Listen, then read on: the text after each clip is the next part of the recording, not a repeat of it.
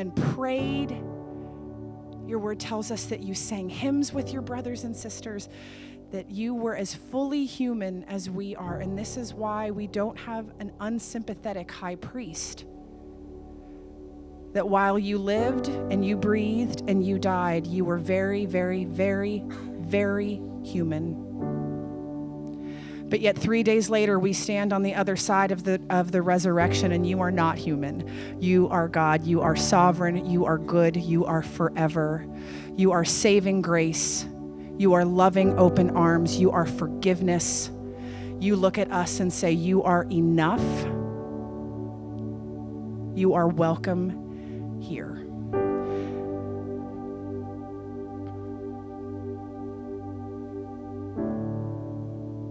Father, we live in the light of the cross and ask this morning um, that you give us open heart and open ears to uh, listen to the word that you have delivered to Pastor Joe today.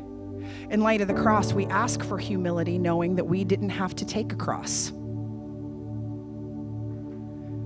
So we ask for humility. We ask for tender hearts. We ask for hearts that are not made of stone, but are made of flesh.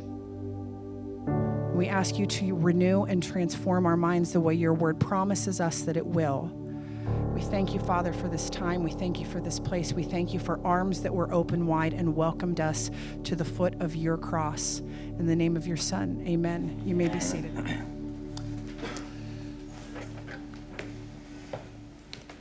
Pretty good. You know, part of what makes a worship band so good is not just the musicians, and trust me, we have some literally some of the best in the city. They do this every week without computers or underlying tracks. They do it all themselves live. It's really pretty amazing what they put together. But there's more to it than just having good musicians. Another thing that makes a worship band good is understanding theology, knowing Jesus. And um, Megan and the band does a great job every week, and today was off the chain, man. That was good stuff.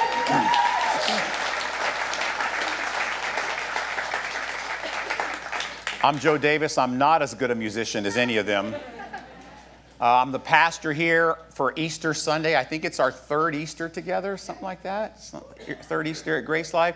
Today, the message is titled Resurrecting Orphans. Some of you say, wait a minute, that's not what we signed up for on Easter Sunday.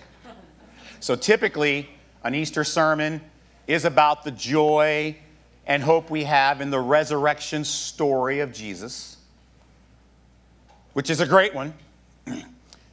and we come to Easter Sunday. Some of us maybe don't come as often as we should. We struggle. Life gets busy, gets full. But we come on Easter because, frankly, we are somehow looking for a way to connect with Heavenly Dad at a deeper level, especially on this day, right? I mean, in the end, isn't that what we want Easter to be about? Not about the Easter eggs or the chocolate, although I love the chocolate, don't get me wrong. But what we want to have happen, actually, if you're honest, is on Easter Sunday that we will have a special connection to God that will transform us going forward because we all know we, we need it. And we want to connect with a greater understanding of how to be connected with Heavenly Dad. And so we come, frankly, to Easter with pretty high expectations. And, and trust me, as a minister staff and as a pastor, I feel that. I'm not kidding, I feel it. But this year, by request, which I don't normally, I, you know, I'm not like a top 40 DJ. Hey, Pastor Joe, can you preach that sermon? but several people made a request that I preach a sermon about adoption. And I've titled it Resurrecting Orphans. And so this is the sermon preview from this week, one of them. I sent out two this week. One of the most heartwarming stories in Scripture is Heavenly Dad's adoption of his children. adoption carries this incredibly heartwarming idea of someone taking on the joys, responsibilities, costs and unbelievable privilege of raising a child. It's an amazing thing. There are people in this room who have been touched by adoption on both sides. Adoption is an incredible example, a picture of salvation in so many ways. And today, instead of preaching on the resurrection story, I will be preaching instead a sermon about one of the impacts of the resurrection of Jesus. That being this doctrine of adoption that's all throughout the New Testament that is made possible by the resurrection power of Jesus. How Heavenly Dad resurrects spiritually dead orphans. We will meld the story of resurrection with the precious, precious doctrine and comfort of adoption. How adoption can leave us with that Easter connection we so desperately crave. And maybe we don't even realize that we're craving it, but we do. And we will walk through the process through which Heavenly Dad, through His resurrection power, makes us His own. To understand this concept, we must first understand the actual plight that we have as children of darkness. And that is this we have, spiritually speaking, initially the worst dad ever. He is a father of lies, a father of darkness, a father of deception that has one desire he wants to see all his kids die with him. So let me explain why this is crucial. You know, the psychological importance of a father in the life of a child, especially they say between the ages of like four to 18 or 19, the most important place that a child develops their personal self worth and their self image is how they connect it to their relationship with their dad. The influence of a dad in a child's life is very important. And look, earthly dads, we struggle. Even when we're at our very best, we fail. But imagine, if you would, even as earthly dads, full of our flaws and struggle, we don't wish the worst on our children. Imagine if you had a father that absolutely hated you, wished you were dead, and wanted to see your life on the way to being dead a total shambles. This is what we inherited. There is no concept out there in the Bible. We hear this about we're all born God's children. Actually, the scripture says the total opposite. We are not born God's children. No. Ephesians uh, 2 1 through 3 says this And you he had to make alive, and you he made alive who were dead in trespasses and sins, in which you once walked according to the course of this world, according to the prince of the power of the air, the spirit who now works in the sons of disobedience, among whom also we all once conducted ourselves in the lust of our flesh, fulfilling the desires of the flesh and of our mind, and were by nature children of wrath, just as the others. John 8, 43 and 44, the words of Jesus. Why is my language not clear to you? In other words, why is it you can't understand what I'm saying? because you are unable to hear what I say. You belong to your father, the devil. And you want to carry out your father's desires.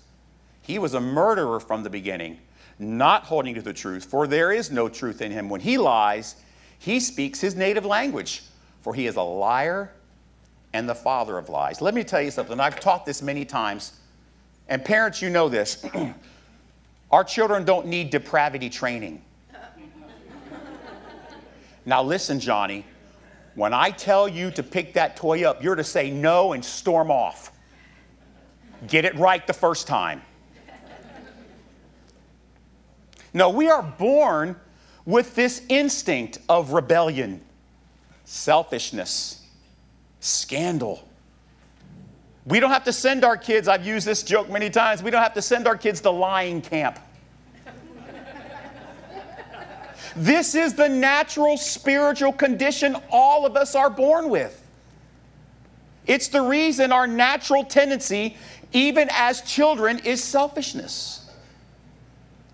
And we have, because of the DNA of our spiritual father, the devil, we have one desire to fulfill the lust of our flesh. That's the natural DNA of our father, the devil. You know what makes it worse? Not only are we born with all his stuff that's bad, he knows all of our weaknesses. He knows where He can hurt us the most. He knows exactly what will bring us down mentally, emotionally, physically. And He wants to hide the truth from us. He wants us to live in a total destructive dysfunction. He wants us stuck in a swirling, sucking eddy of despair of His own making. He wants a tragic, eternal ending for all of us. He wants to bring us down with him. I mean, imagine if your biological dad wanted to kill you. I mean, look, us earthly dads are flawed, and our own flaws do inflict pain on our kids unknowingly many times. But could you imagine if the only thing an earthly dad wanted was to cause his children pain? Imagine what life would be like, especially on earth, when you're young and helpless. Church, listen to me. This is who we are spiritually before Jesus. It is. We are spiritual orphans, dead in sin, and our Father, our Father's enemy number one. So that's the dark part of this Easter message. I want to talk about adoption through resurrection power.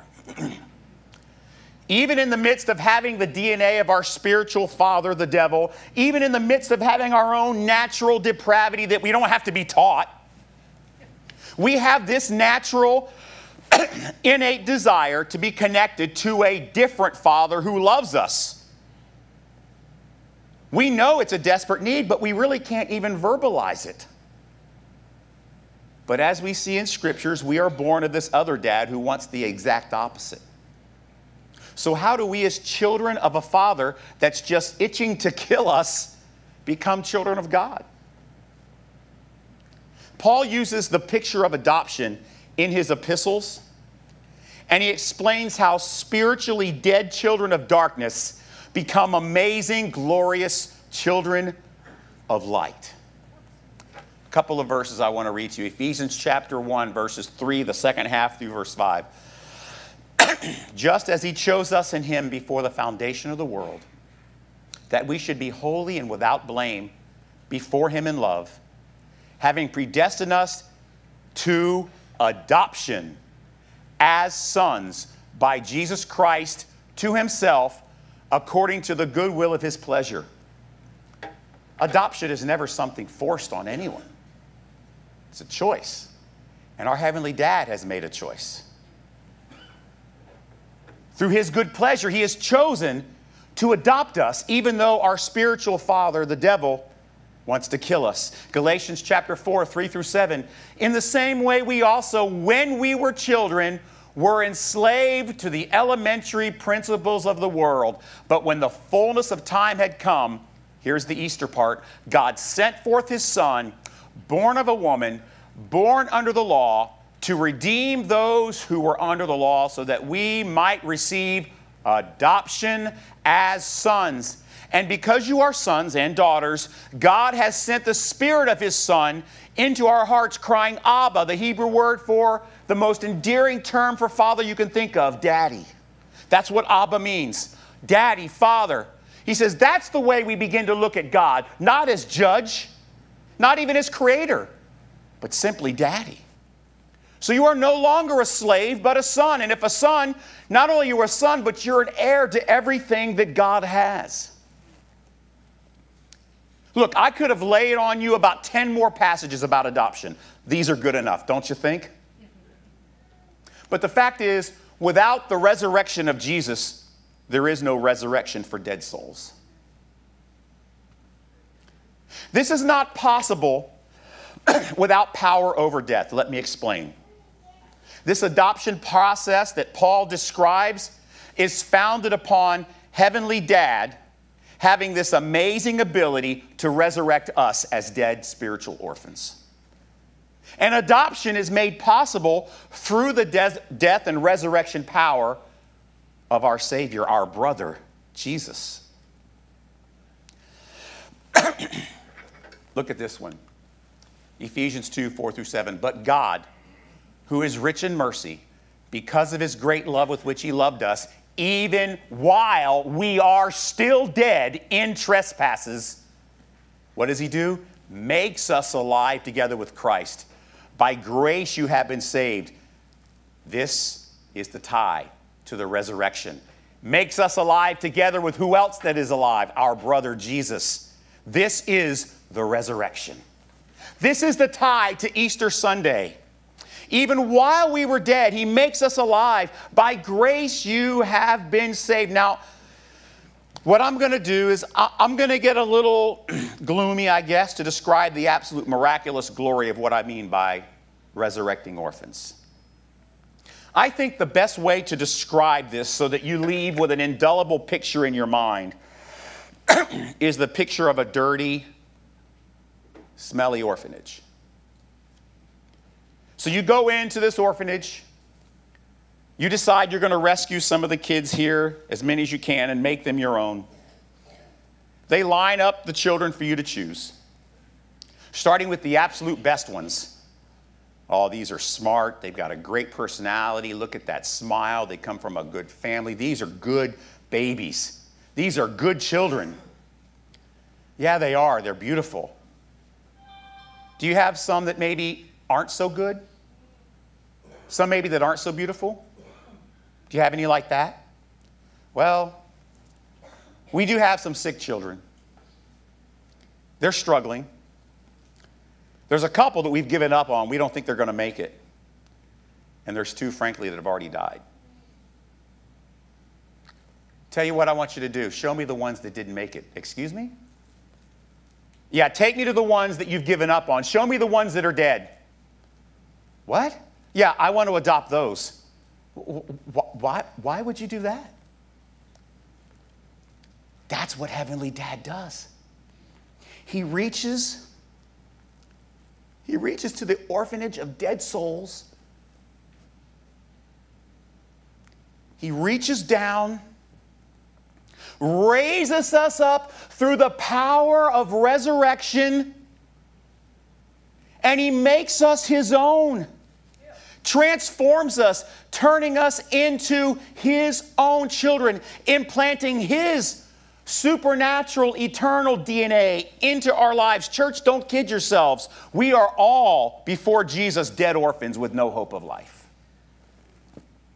Except for that miraculous moment of resurrection and adoption by a heavenly dad through Jesus, our brother, who gave his life and conquered the grave so that our new father could go into the orphanage and say, Show me the dead ones, those are the ones I want. How does this happen? It happens through the gift of faith, Ephesians 2 8 and 9. For by grace you have been saved through faith, and that's not of yourselves, it's a gift of God, not by works, lest you should brag. See, not only does he choose us as dead orphans out, take us out of that dirty orphanage of souls, rescuing us from the Father that wants to kill us, but he gives us the gift of faith that will allow us to trust our new Father explicitly. We before had a dad we couldn't trust. He let us down time after time after time. He led us into addiction. He led us into lying. He led us into stealing. He led us into immorality. He led us into broken relationships. He led us into broken promises. He led us to dead end and hopelessness time after time after time. We have been betrayed by him over and over again, and we have lost the chance to trust in a dad. But our new father swoops in resurrects us, gives us life, and the gift of faith that He is just the Father that we need. And He enables us to believe in this process of resurrection and redemption of our own souls. He takes away our foolish, stupid, arrogant pride in our own dead selves and gives us to reason to brag about our new dad. Oh, yeah, you think your dad is great? My previous dad left me for dead, but my new dad can resurrect dead orphans. He's awesome. Think of this, church. We were orphans in the orphanage of lifeless souls that really, frankly, if you're honest, should be totally unattractive to anyone, especially an all holy, perfect, awesome God. But then instead, he resurrects us, gives us an undeserved place of honor. Just as he would if we were his own child. He raises us up, the scripture says, raises us up to sit with him. You know what, by, you know what it means by raises us up to sit with him? We get all his stuff. We get all his stuff. I have ripped them from their natural dad, and I will make them my very own, no matter what the cost. So now I want to talk about our own personal Easter.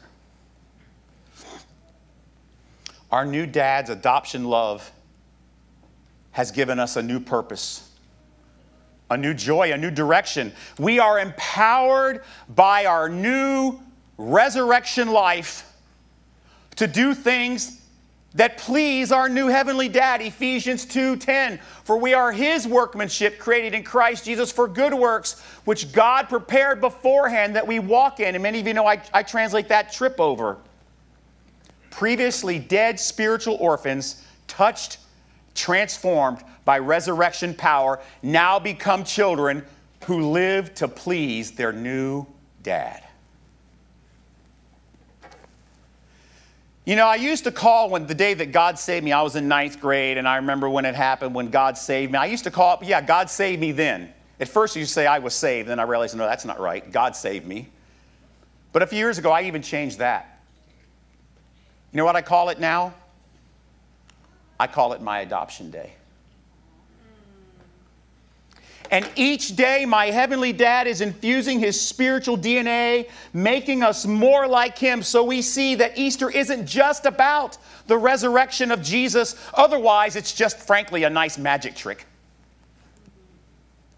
If it's just about the resurrection story, then there really is no point.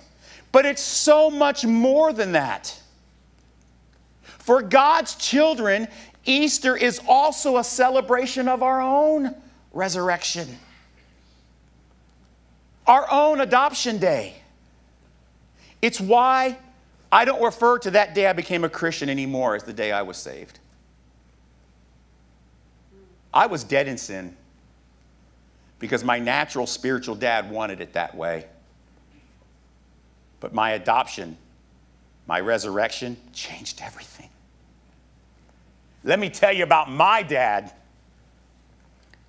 When my real father hated me, left me dead in my sin, dysfunction, and sickness, and addiction, and bitterness, and resentment, and selfishness, and immorality, my new dad just swooped in with power over death, resurrected me, and made me alive, made me his child. Do you remember that moment? Those of you in here, do you remember that moment, the day that Heavenly Dad came to get you from the orphanage of dead souls? Do you remember it? Do you remember the day He made you alive, gave you the gift of faith, and then began to transform you with His spiritual DNA through the Holy Spirit? Do you remember the rush of emotions? That moment your soul was resurrected? I mean, who knows? Maybe for some of you, it's happening right now. Maybe Heavenly Dad has swung by your orphanage. Maybe this very moment, He's resurrecting you. If it is this moment, welcome to your new family. I can tell you from my own personal experience, our dad is awesome. He is way better than your other dad. Just wait. You'll see. Heavenly Dad, thank you so much that through resurrection power, you transform us. You make us alive. You raise us up who were dead. and you seat us right next to you. Thank you so much for our adoption day. And I pray for those that may be here today that you may be adopting at this very moment. I pray the gift of faith you give them will be strong and powerful and convincing. Because you, Dad, are awesome. You're way better than my old dad. And I can't wait to tell other people about what you've done for me.